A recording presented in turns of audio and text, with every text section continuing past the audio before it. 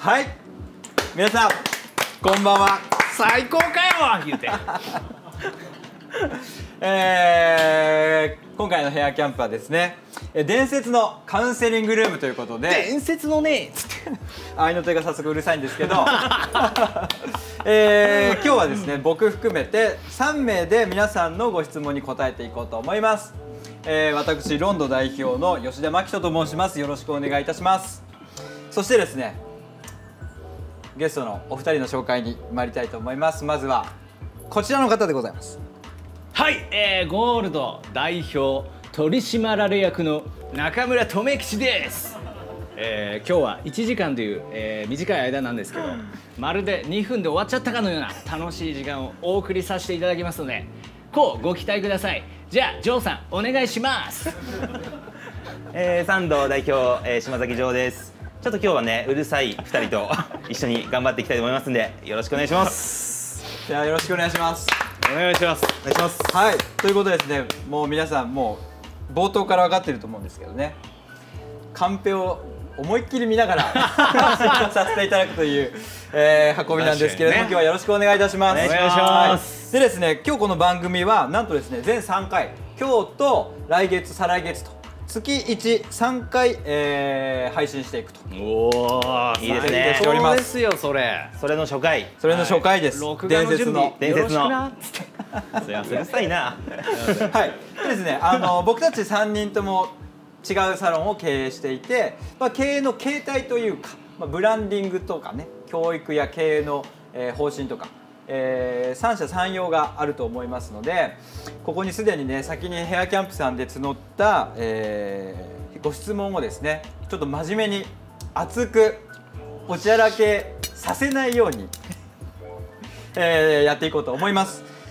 さあ、えっと、番組をご覧いただいている皆さんからもコメント随時受け付けておりますので、えーちょっと留吉がうるさいとか、ねえ待ってますそういうのマキとカンペ見すぎだよとか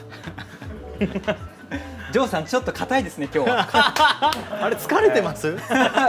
えー緊急事態宣言中ですから今日はノーマルで確かにね。トークしていこうと思いますので、K- KJC はい。だからね、じゃあ今日は皆さんよろしくお願いいたします。お願いします。お願いしま。す。はい。なんかじゃあ。ママ、なんかちょっと。ママじゃねえんだよ。マスターって言ってくれまあママスター。スター？コカ・コークお願いします。ジョーは？コカコークで。コ。カ・コークでね。トゥコカ・コール。じゃあちょっと今2人で喋って雑談してて。ねえなんかいいよねジョーちゃん。いいね。新しい感じ新しいですね。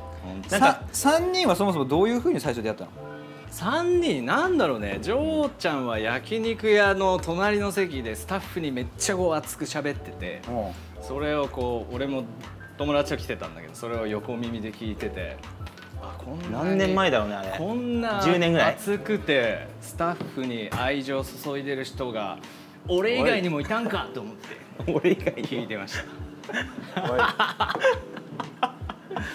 ありがとうマスター。じゃあ乾杯。一応はいっす一応コーラです。コーラでです。す俺は炭酸水です。コークです。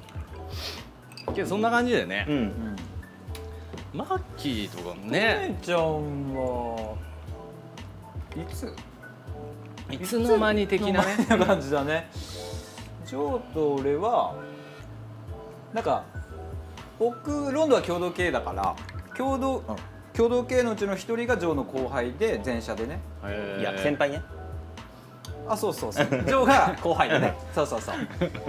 で知っててで銀座にサンドっていう美容室を後輩が出す。サンド？思いっきりうちの名前かぶってんじゃん。サンド？ロンドンみたいな。確かに。最初なんかねそんなこと思った記憶があって。もちろん2人とも雑誌とかでは見てたんだけどリアルにたずなんかこう関係が仲良くなったのはこの数年、うん。確かに。2年3年ぐらい、うん。多分そんな感じで、うん。ね。プライベートもね、うん。一緒に旅行行ったりね。そうそうついちょっと前もね、まあそこまでしか言えねえけどな、なんて滑ってるよ、大丈夫。です。滑ってる。基本滑ってる。ちょっとあのヘアキャンプさん側からね相談がある時は誰にします？どういう話を誰にします？みたいな。のあるけどうん。あります？相談する時。あ相談？まあえけど。ここの中じゃなくてもなんかメンターがいるとか、いや、でもここの中にも結構相談する。する。あまあでも確かにうん確かに確かに、もうね。風呂入りながらとかでね、すぐ、まあ、前者辞めたタイミングとか。ねね。速攻2人と飯行って、うん。ね。真面目だってあの時が一番。真面目だった。時がね。しっかりしてた。シャキってありがとうございました。つってそう。あの時一番真面目さて、えー、切り替仕切んなきゃいけないから。ということでですね本日の相談に参りたいと思います、はいえー先ほども申し上げたんですけれども、えーヘアキャンプ内のインスタグラムでですね質問を募集したところたくさんのご質問をいただきまして本当にありがとうございます。ありがとうございます。ありがとうございます。で、えっと全てのねお悩みをかあの解決したいところなんですけれども1時間というちょっと限られたほんまですよ。時間になってしまっているのでちょっと抜粋して解決させていただこうと思います。ちょっと忘れないでね。今日のタイトル、伝説のカウンセリング部だから。カウンセリングね。答えを導き出していただけるような内容に頑張ります。していこうかと思います。頑張りましょう、はい。本当に。えーなんとですね今日の相談者さんのお店はとみちゃんのゴールドも出店している、えー京都にも。ええうん。京都の方からもご相談があるというなるほどことでございます。はい。ちょっとなんか独特な土地のイメージがあるからさ、うん。京都ね。そうちょっとね俺らはわかんない。ね俺も逆に聞きたいです。ま あまだちょっと新参者だから、新参者だから。確かに。何より。はい。では、えー早速一つ目の、えーお悩みいってみましょう。はい。おっしゃ。お願いします。えー、い言っていいですかね？言っていいですね？はい、えー今回の相談者さんはペンネーム。なんと売り上げだけ見て走りすぎて周り見れてないさん 優勝。すでに。というもう売り上げってなってる方からのご質問でございます。ペンネームだよね。え？ペンネペンネームだよね。ペンネーム。ペンネーム。ペンネームいや実名だったらやばいよね。どこまで？みたいな。やっぱすごいねみたいなね美容師は。すごいなはい、でえーっとお店、えっと、スタイリストさんのプロフィールかな、うん。はい、お店のプロフィールですね。どうぞ、ドンはい。えー現在美容師21年目。えー二十、歳でスタイリストデビューした後早い。えー早いですね、うん。30歳で自分のサロン経営をスタート。なるほど、36歳で法人化し、えー来月6月で3年目となります、うん同世代ですね僕らとねちょうどね確かに。36歳だと、確かに。はい。えー 客層は20代から30代がメインで、えーその他40代やファミリーなどもご来店されるとか、えーお客様の単価は7000円ほどで月400万円から500万円くらい。これは多分500万円ぐらいの売り上げということでしょうかね店舗の、うんはい。えーお店のスタッフ数はスタイリストさんが4名アシスタント2名レセプション1名いらっしゃるとのことです、えー女性男性のみの入客のスタイリストさんが2名。うん。はい、そしてアシスタントさん1名は、えー5月末今月末でアシスタントさんは退職されてしまうとのことでござないるほど。ます。はい。えーどうですかね、ジョーさん。質問来てね難しい。まあちょっとこのプロフィールを見た感じの印象、うん。うん。印象？うん。そのなんかあと聞きたいのか。確かうん。うん。になるほどで終了してるよね。うん。その次読んでよ。あその次も読むのね。まあでもとみちゃんその一旦まず京都っていう場所から、うんやっぱちょっと東京とは全く違う感じ。うんとみちゃん的にはどういう印象の地域なの？えっ、とねもともと大阪出そうとしてたんですね。でちょっと友達と旅行がてら京都行った時にやっぱなんか気がいいし人も人柄も素敵だし何よりも日本ねもともと中心にあった街ですごくこうおもてなしとかなんかなんつうんだろうね。こうすごく品がある街だな。似合わないじゃん。逆にね 言わせんだよ。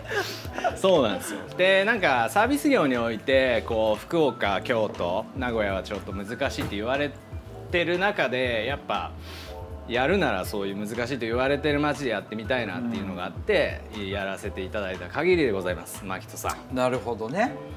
あえてじゃあまあ別に東京で出店してもよかったし、うんまあ、近隣の例えばそれこそ1都3県の関東でもいいけれどもあえて飛び込んだっていう感じ。そうだね。そういうまあ町が持ってるうん。特別なものを感じて、うん。逆になんか学びになるかなと思ったし、名古屋にあるじゃんうち、うんうんなんと名古屋から30分で行けるし確かに確かに。なんかこのコロナ禍の状況に対してこうドミナントでやっていくっていうのもリスクあるなと思って、うん。だったら今のうちこう広げれるだけ広げて、うん。である程度コロナ禍が落ち着いた時にまうんた次の戦略を練ろうかなみたいな。なるほどね。さすがです。えーっとではね、えーまあ、美容室のね代表っていうと、周りのことを自分以上に考えなくてはいけないためさまざまな悩みがあると思います、はい、なのでまず一つ目のお悩みはこちら。来た。ダダン、えー人が辞めないサロン作りとは？これはもうマキと永遠の課題ですねえー 得意としてる。人が辞めないためにを考えた時に待遇を上げる。つまり、えーなんていうんだこれ他所よりいい条件を提示するぐらいしか思いつきません。本当はそうじゃない部分でサロンに残ってほしいのです、えー皆さんが経営者としてさまざまな立場のスタッフたちに実践されていることや考え方があったら教えてください。お。という素ことですけしい質れども問ですねこれは、これでも永遠のテーマだね、永遠のテーマだね。しかもやり方も全然ね違うしうんうんね、うんでもうちは本当に辞めてないが結構売りで、んなんか走ってきた、うん。うん5年間。そうそう。5年間社員スタッフ数が100名超えるぐらいまでは離職ゼロだったれはねん。ですよ、すごいよマッキーでもみんなも辞めてないよねスタッフ。全然。それ離職ちょこってとだけやめてる。ちょこっとだけは辞めてるけど、でもいやちょほら美容室はさ5年離職率うん。がもう90%ぐらいって言われてるでしょ、うん。美容あの美容師、うん。っていうことからすると相当少ないよね、みんなも、相当少ない。えうちやめてないまだそうだよね、うん。そう。嘘でしょでも。女の子にも振られないしね。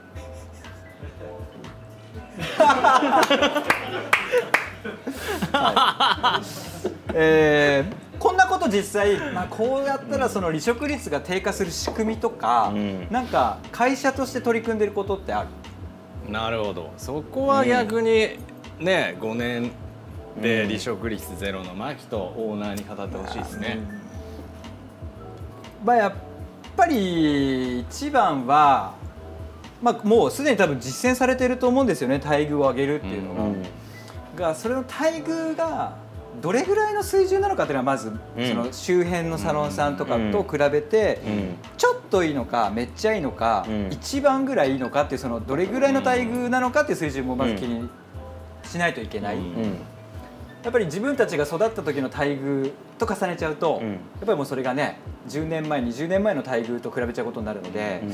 ちょっとやっぱり今の時代をもう一回集客もそうだけど雇用うん。の戦略としてある意味そのマーケティングがする必要性はあるよね。うん。こうなんか俺が思ってるのは、週の上は最低ライン行ってないといけないなってう。いう、ん。わかる。特にねこう情報が開示された時代に対してね。うんみんなね他社のことも簡単に情報がもう入る世の中になっちゃったから、隠してっていうのももちろんうん。うんやらないし、中の上はアシスタントも最低ラインで、確かに。給与水準でいううんとまずは、水準はね、間違いない。確かにね、トミちゃんなんかある？